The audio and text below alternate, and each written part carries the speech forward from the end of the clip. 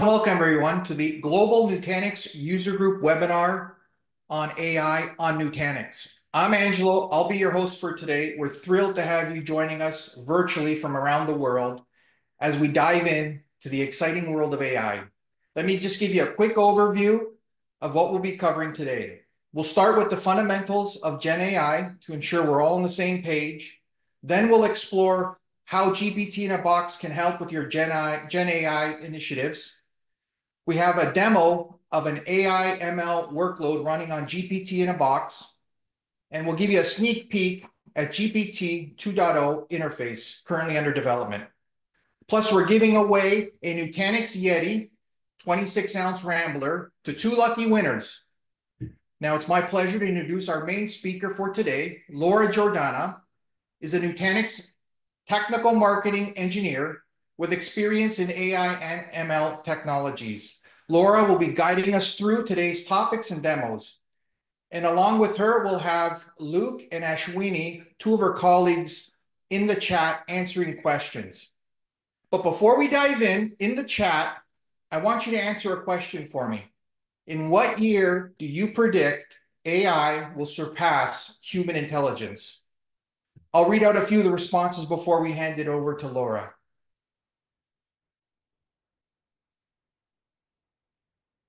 2040. Wow. 2035, 2030. Okay. 2050. Wow. 2023. That was last year. Good one. Good. Great. Thank you all for sharing. Now, please welcome Laura Jordana. Thank you, Angelo. Hello, everybody, and welcome. Uh, let's go ahead and get started. So thanks for that great introduction, Angelo.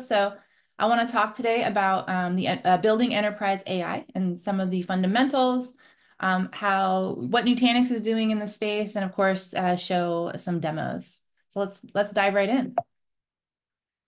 So of course, you all know AI and ML is not a new thing, right? It's been around for over 50 years, 50 to 70 years even, but it's really disrupting the enterprise now. And if we look at the components required for building AI, right, you need large-scale compute, uh, and you need a lot of data for it to learn from.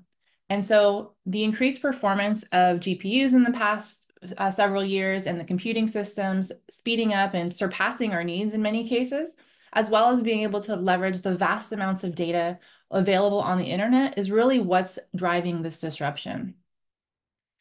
And as we mentioned, AI is not new, but Gen AI is, right?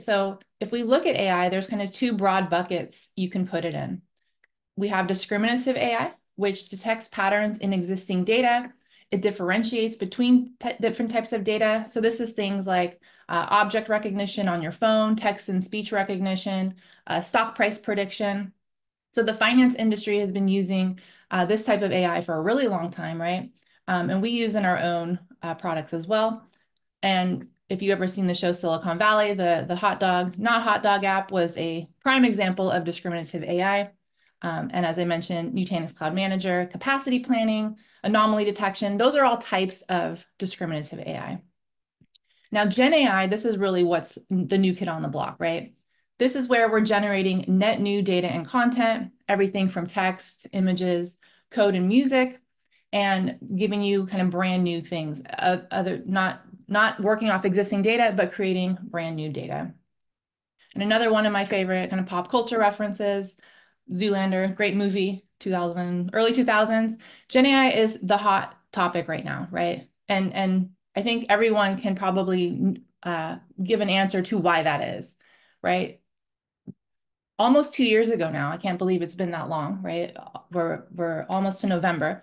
Um, in 2022, ChatGPT came out and took the world by storm. And it really transformed data gathering from what we knew with Google, from just getting a list of results and now giving you an actual answer, right? So this opened up generative AI to everybody, your your your parents, your grandparents. All ages are able to easily use this form um, to get answers quickly. And now this is kind of the same thing that Google pioneered back in 1998, where that really transformed the way we worked back then.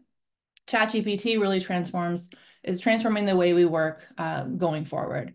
And of course, there's still things to work out in terms of hallucinations, right? Uh, we need to fact check, you know, chat, GPT can make up answers. There's security and privacy concerns, but the cat's really out of the bag and businesses everywhere, organizations everywhere are trying to understand how they can leverage this technology um, to drive their business forward and really gain efficiencies. And what we saw is, so we, we commissioned here at Nutanix a global research study to learn about the state of global enterprise AI deployments. Uh, we, um, we surveyed 650 IT, DevOps, and platform engineering decision makers uh, about their AI technology strategy and adoption to really establish a baseline picture of the current enterprise AI deployment and trends, what their planned implementations were, uh, and any challenges that they that they that they saw right? And so the main conclusion was that the adoption of enterprise AI applications will bring on a new wave of IT infrastructure modernization um, and focus a lot on data mobility, security, and protection. But you can see across the board, AI is considered a priority. Um, they they know that IT infrastructure needs to be improved and modernized to support AI, and Edge is going to uh, you know play a big role here as well uh, as you push AI out to your kind of edge branch remote office locations. So let's explore the most common use cases that we see driving, uh, transforming this business uh, innovation today, right? Private chat GPT. Everyone's really impressed with what ChatGPT is able to do, and they're you know coming out with new models all the time. And Google has their own, you know, they've built it into the search browser as well, uh, Google Chrome, for example.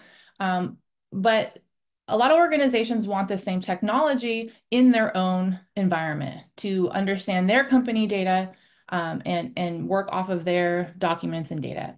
But they don't want to necessarily subject their data to a third party, right? So they want that same experience, but they want it private on premises. Uh, the other, another key use case is co-piloting. So code co-piloting, as well as content creation. Um, so really reducing the time to value for customers or end users. So for example, developers, many, most developers I know don't, do not like writing unit tests. So, but it's something that has to be done. So being able to offload that to a, a code co-piloting tool um, is, is a key use case as well as content creation. And then machine learning tools, right? This is the basis for the previously mentioned use cases. So if you're looking to fine tune your own models, build custom AI apps in-house, this is another key use case that can benefit from, from Gen AI. If you look at the overall theme across these use cases, it's all about increasing productivity and efficiency. Um, achieving more in less time, augmenting your workers to free them up from kind of the mundane, um, you know, uh, routine tasks, so they can be freed up for more innovative tasks and not spend time searching for answers or writing unit tests. And of course, you know, there's more industry specific use cases we can look at, right? Uh, digging into kind of three major verticals here, right? We've talked about finance, how they've been using discriminative AI for a long time, right? They were early AI adopters um, to do things like fraud detection and stock price prediction. And Gen AI can help make these systems even more intelligent and more compliant. Healthcare, so claims processing is another popular use case we're hearing about uh, to simplify claims submissions, processing, also the case with insurance, with insurance claims. Uh, other use cases in healthcare, optimizing diagnostics, you know, doing more um, precision medical strategies and personal individual diagnostics. Um, and then on the public sector, you know, the public sector can tend to be a little more legacy in terms of the systems that they're using. Uh, and Gen AI can help improve some of these inefficiencies provide more intelligent fraud detection, and then overall just provide a better uh, experience for their constituents. Now, what we're hearing from our customers uh, when we ask about, you know, AI and, and what they're trying to do, there's three key things that they that they mention. One is they don't know where to start, right? Gen AI still is relatively bleeding edge. Skill sets are still catching up. Things are changing day to day. So that's that's one kind of blocker or challenge that they're having. Second is the uh, company data and privacy, right? You, you, there's so many cloud services out there, but they, many organizations can't risk putting their data in cloud services or they have mandates to not put certain data in cloud services, right? Like healthcare has very strict rules about where they can have data. Um, you know, there's been articles about companies who've had employees kind of just using the free version of ChatGPT and unknowingly exposing their company intellectual property. Organizations really want to avoid this. And then kind of going with the skill set, right? They need help. They need help to get a successful running solution. Um, a full stack turnkey solution is really needed here, right? You have your IT team, they know infrastructure, but they don't know machine learning. Machine learning, they're data scientists, they want to run their Jupyter notebooks, but they don't know infrastructure. And so we need a platform that can really accommodate everybody. And when we look at implementing AI solutions, you know, there's there's a couple potential paths. Um, you can not shown here, you can build your own, of course, if you have GPUs and all that, but that can be very complicated uh, with different software and hardware layers and dependencies and vendors that you have to manage, um, especially upon upgrade time. Um, the cloud here on the left, right, that's the easy button. There's so many cloud services out there that offer AI fine tuning, AI inference in the cloud, uh, minimal friction, get you up and running very, very quickly. But of course, there's some trade-offs here. Um, you know, we talked about the risk of exposing private data to the cloud, but depending on the cloud service, right, there's big ones, there's small ones um, how easy it is to move your data out of that service if you need to, right? We need to think about lock-in. Uh, you also need to think about latency. That can be a factor when you're working with remote edge sites or branch offices, right? You you don't want your customer service rep at your branch office waiting for you know inference in a cloud service and the latency is poor, or something image recognition to get split second decisions um, and and and generate recommendations based on fraud activity we don't want that to be subject to latency. And then of course, cost. Cost is a, a big factor as well, uh, too, because you do a POC in the cloud, right? It's it's all fine and good. And then once you open it up to everybody, now all of a sudden you've got your whole organization hitting uh, these API endpoints, and those all cost money. And so you can uh, be hit with unexpected bills at the end of the month.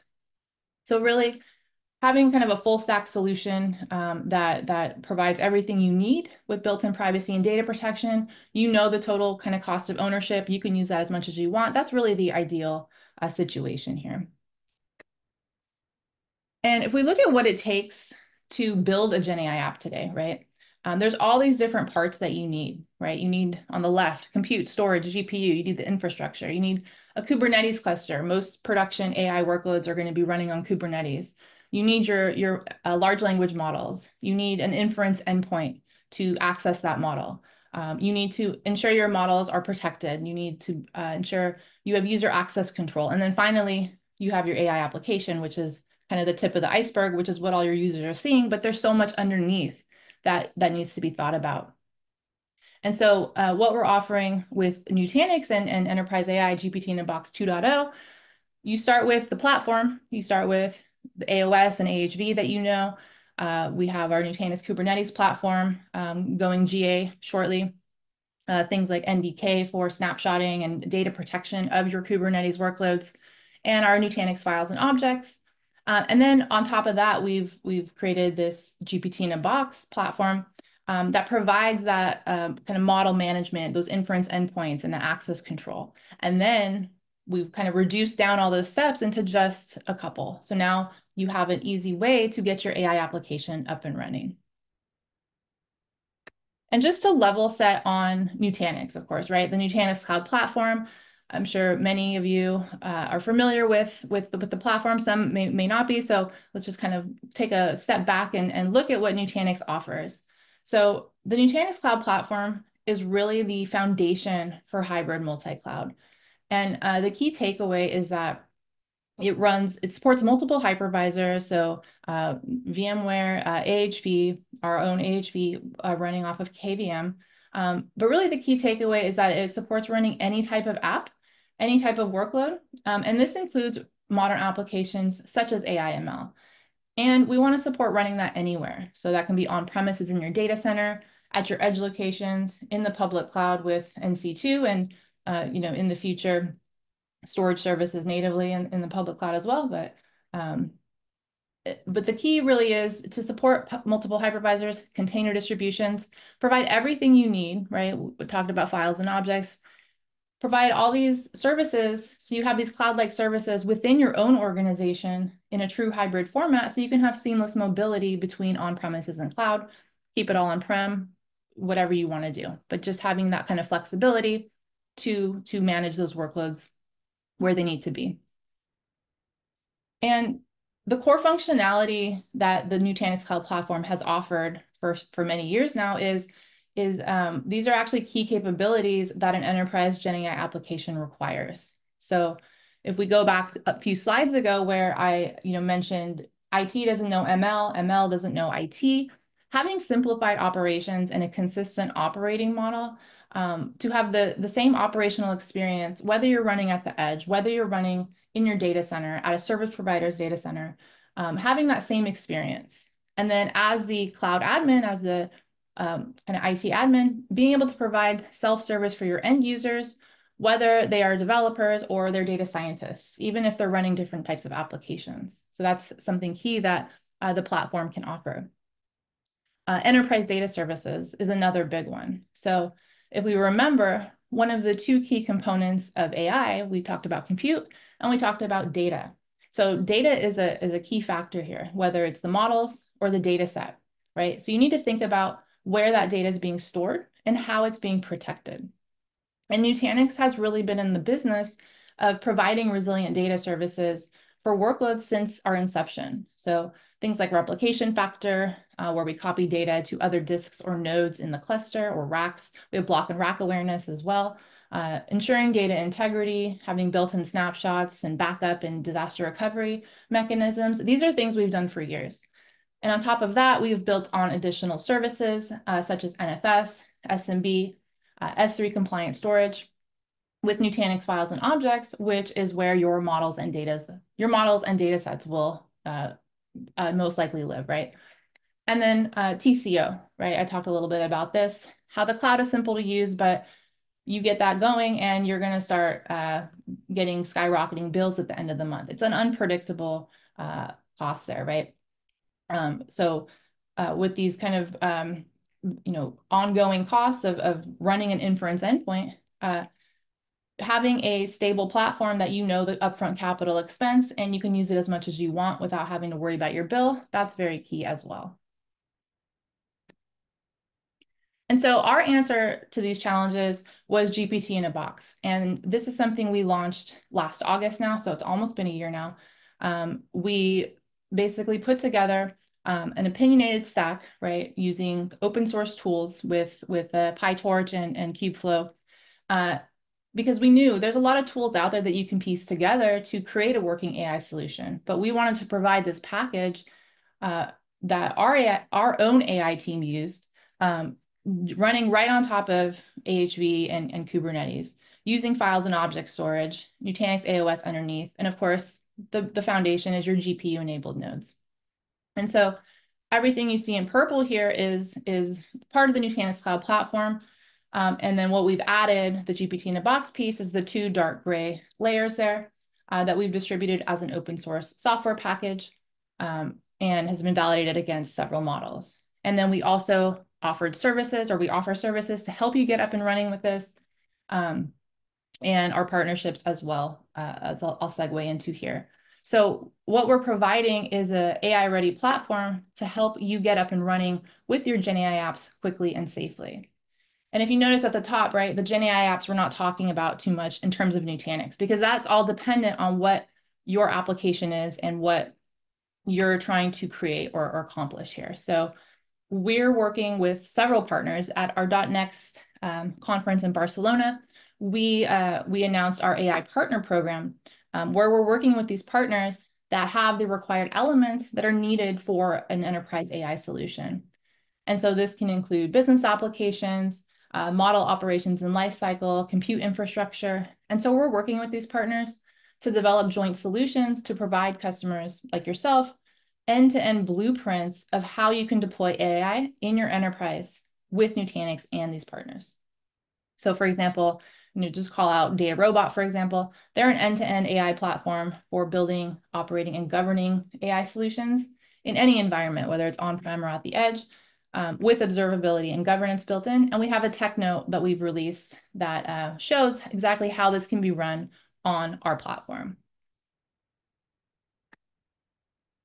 And so what implementation looks like as of today, uh, since August 2023 of last year, uh, it's deployable, as I mentioned, as an open source software package, and we've made available on our GitHub.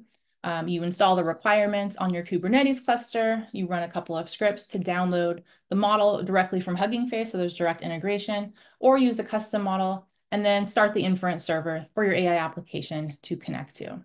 So that's what um, what gets people started. But of course, to really uh, kind of expand this out and make it you know much more enterprise grade and, and usable, uh, this is a glimpse, and I'll show a live demo of this as well um, into the uh, interface we're developing here. So um, we're going early access uh, shortly and uh, GA a few months after that. Uh, but we're looking at uh, releasing a enterprise AI endpoint uh, manager, model manager, where you'll have enterprise features such as RBAC, logging, observability, stats and metrics, where you can have different types of users who can create their own endpoints and download models.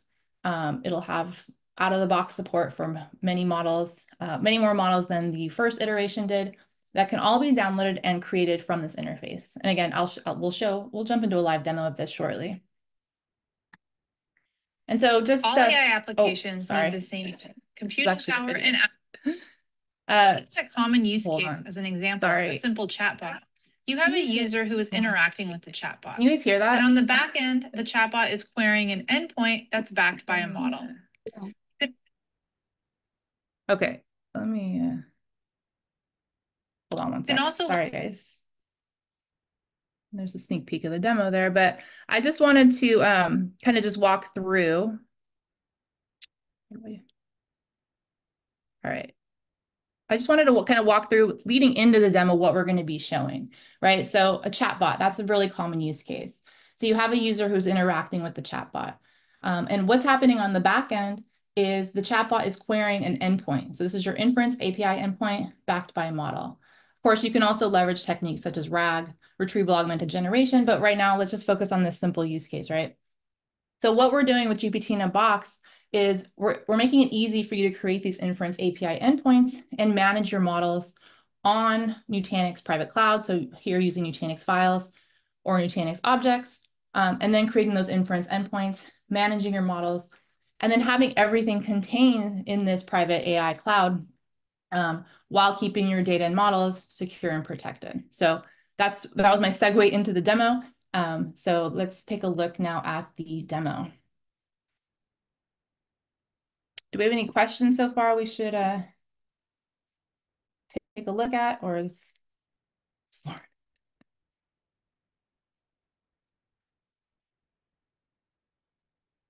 Okay, so it looks like Ashwini and Luke have been answering some questions. Um, so here, you guys should all be able to see my screen, hopefully.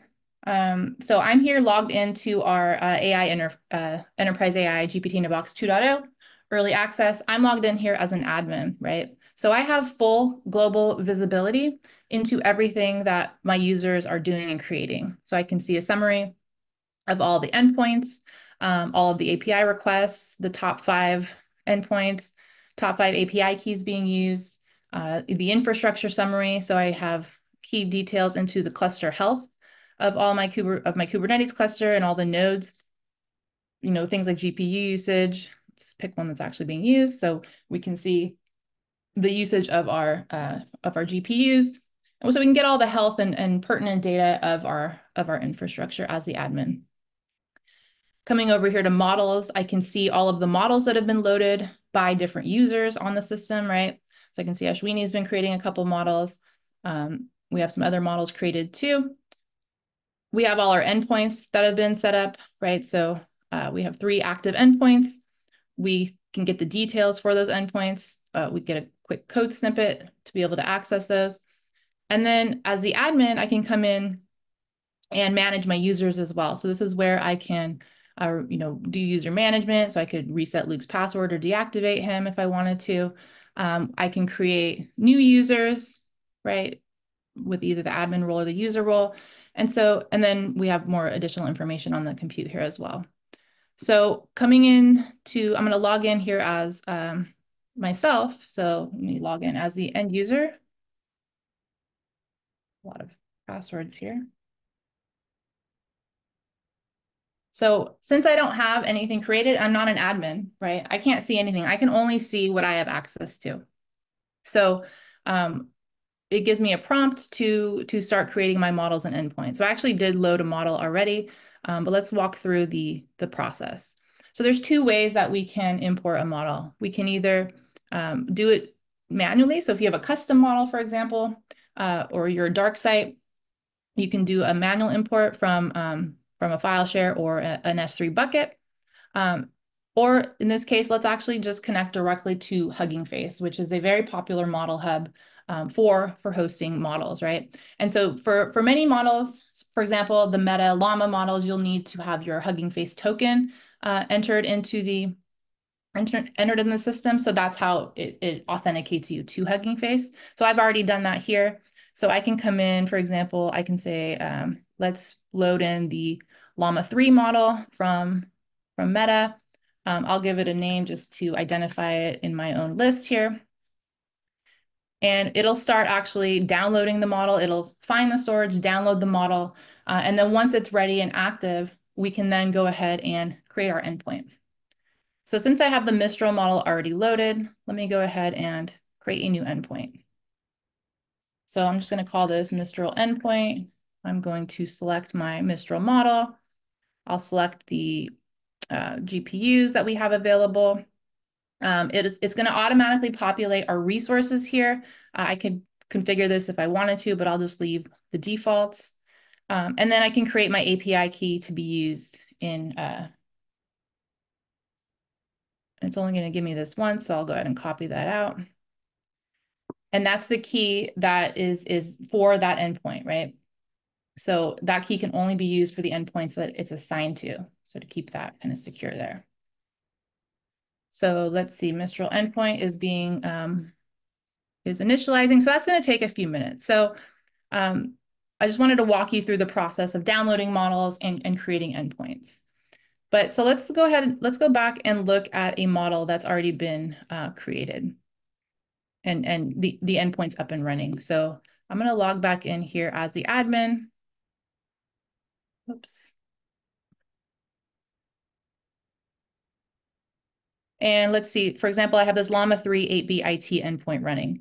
Um, and we have some API keys um, uh, set up for it. And you, another cool thing about the interface is that once I create the endpoint, right, I can test it out fr uh, directly from the browser. So I can come in here, I can put in a custom request, or I can use one of the sample requests. And so as the kind of IT admin or the person that's, you know, creating these endpoints, I can make sure that it's validated and it's, it's working properly before I hand it over to my developer or um, whoever, whoever needs access to that endpoint.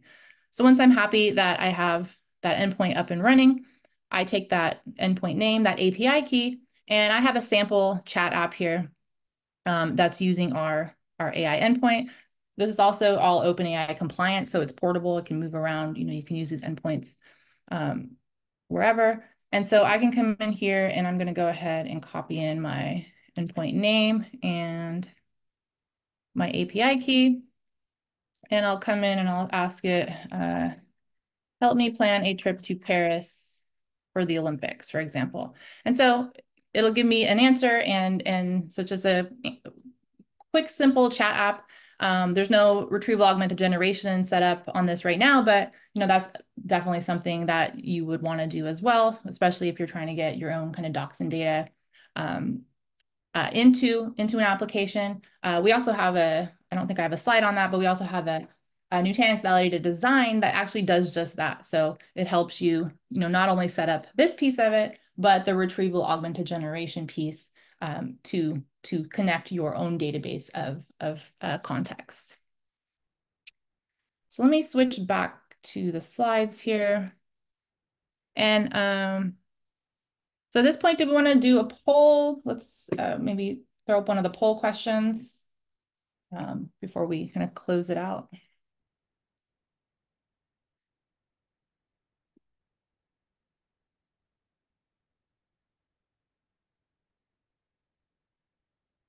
Okay, cool. So all the questions are together.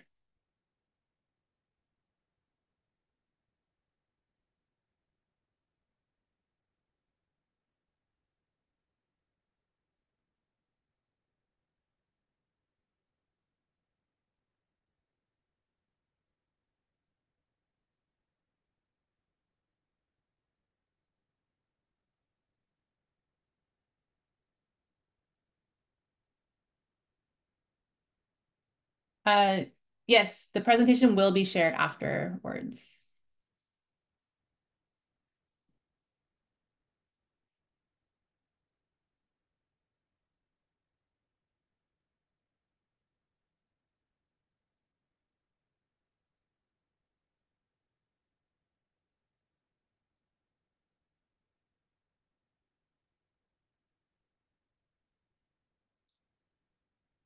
Okay, I'm gonna continue as this poll stays online. Um, but so again, uh, we will share out these slides after. Um, there's also some resources. We have our nutanix.com slash AI page um, that has everything you need to, to understand more about the solution and, and kind of what we're doing in that space. We have a test drive as well and new test drives coming out for the, uh, the new interface um, shortly. Uh, partner information is all on there as well. So be sure to check that out. Uh, for the existing version of GPT in a box, you know, you could get started today if you wanted to. Uh, all the docs and the, the software packages are out there. Um, so it's on opendocs.nutanix.com. So everything you need there. And then we have some uh, videos and a test drive as well for you to uh, kind of get a little more hands-on and more uh, information on um, how the solution works. Uh, and Angela's also put in the next or the next non-nutanix.com forum. We have an AI section in there. Uh, so feel free to go in there and uh, ask any questions that you have. Um, you know, after the fact, uh, we're happy to to help answer them. Um, and then that's yeah, that brings me to the end of the the the the presentation and demo. So um, I thank you all for joining. Uh, you know, we'll we'll open it up a little or stay online for a little bit more Q and A.